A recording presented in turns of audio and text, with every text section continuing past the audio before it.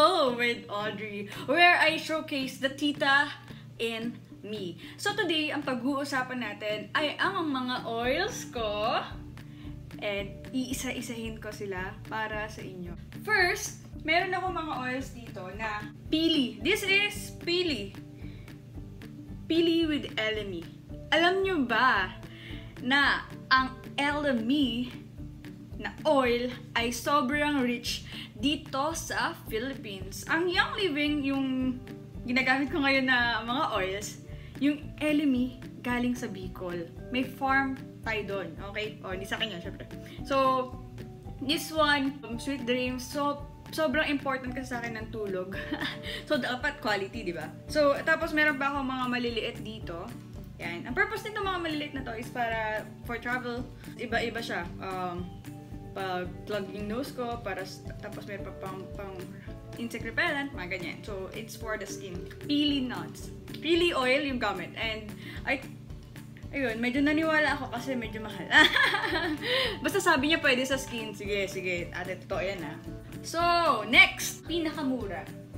Pinakamura ko na oil dito is, ang binili ko sa Giga Natural Essential Oil. So, nabili ko lang to. Nabili ko lang to sa mall. And it's only 270. Ang catch nga lang dito is, nakalagay dito, caution. Ay, naku, hindi mabasa. Do not, basta, do not apply directly on skin.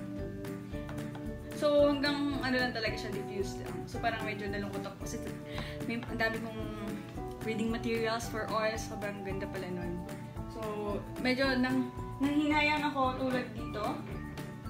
Tulad nito ano, scent chips. Sabi, ito, ito scent chips na to, sabi, for topical and aromatic use only. So, kahit na lemongrass siya, di ba lemongrass pwede sa ano, sa food yun? Di ba? Um, ay, nakalagot ako, baka pagalitan ako ng, anyway, kunyari, grapefruit. Hindi, to, hindi din to pwede sa food. Kasi nga, hindi siya labeled for that. Kaya, parang, aromatic lang talaga tong. Yun yung catch kapag ka binili mo lang sa mall. Pampabango lang. Wala, hindi, hindi natin magamit yung iba niyang benefits. Okay? Next, Dear Jamie. Sobrang natuwa ako dito kasi do onti lang nagamit ko, punong-puno pa. Ginamit ko to nung ano, nung nalungkot ako sobra. Tapos stress ako na, na ano yung buhok ko, nalalagas. Oh my God talaga. So, ito, ito, nakatulong to sa akin. Hi, hi sa aking friend. Dear Jamie, i-visit niyo siya sa, ano niya, sa IG. Hmm. Okay. Tapos ito, bigay ito sa akin. Money magnet. And I love this. I love this. Ang alam ko, this is doTERRA. doTERRA yung friend ko. Actually, ano siya, uh, ate siya ng kaklase ko nung college. So, ito, meron tong eucalyptus, myrrh, lemon, frankincense, cypress, sorry, cypress, Siberian fir, and rosemary. Pero, yung mga tulad ng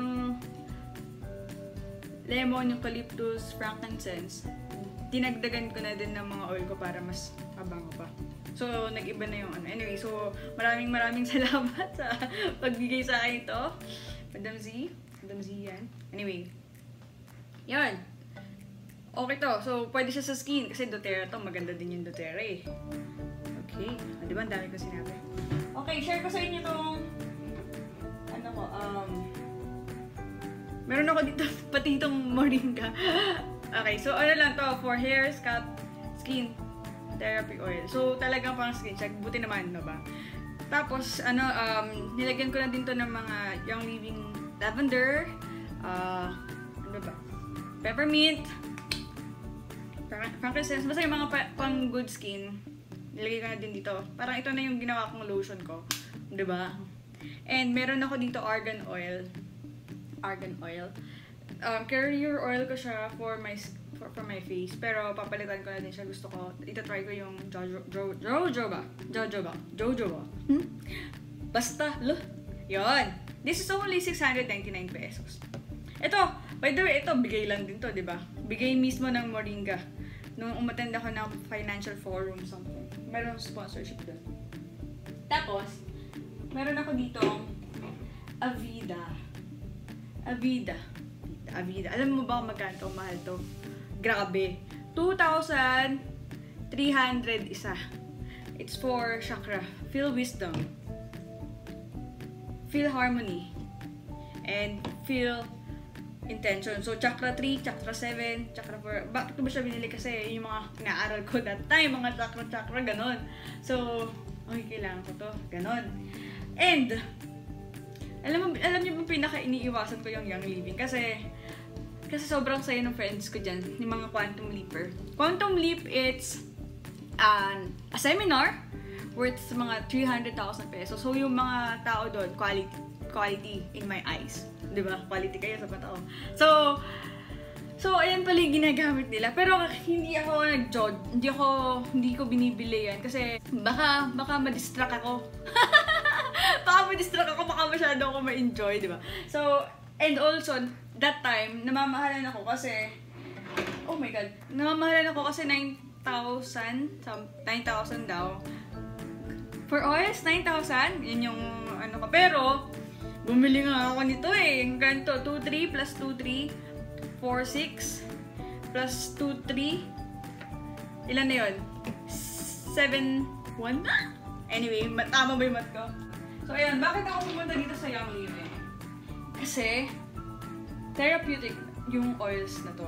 And, and yung mga trusted friends ko, ito yung gamit nila for their family. And lalo na yung mga health conscious. And also, maarte ako sa skin. Maarte ako sa skin. So, I, don't trust basta-basta na, na, na ilalagay ko sa skin. So, Young Living, I trust it. Yan, lalagyan natin ng lavender. Paubos na. Frankincense. Frankincense. Regalo kay Jesus. Regalo kay Jesus. Ang sige, sige. So, yes. And yung mga, ito naman yung mga diffuser ko. Ito yung kasama sa package ng Young Living. And ito yung dati ko. Ito yung pinakauna kong ano, um, diffuser. So yan, alam niyo ba? Alam niyo ba? Pag member ka dito sa ano, sa Anyway, hindi ko kayo ano ah. Dito, alam niyo ba magkano to? Mura lang to. Halos pareho lang dito sa binibili ko sa mall. Eh, yung mga nasa mall, how much? 550, 600. Diba? Eh, ito, 600 din. 600 din. 900. Retail, siguro ganyan. Tapos, pero kapag ka member ka, 600. O, oh, diba? So, parang, dito na, dito na lang, diba? Anyway, ang reason lang talaga kung ba't ako napunta sa Young Living is, I believe sa quality niya. Kasi, before ako mag-jump dito sa mga oils, may mga reading materials. Ako actually, nagpabili pa nga ako sa tito ko sa New York ng ano ng book. Kaso hindi ako binilan. so, naganap na lang ako ng iba. And yes, welcome to my life. Ito yung isa sa mga kinakakaadikan ko. And I really love it. Especially for my energy and for my quality all. Enjoy your oils. Happy oiling. Bye!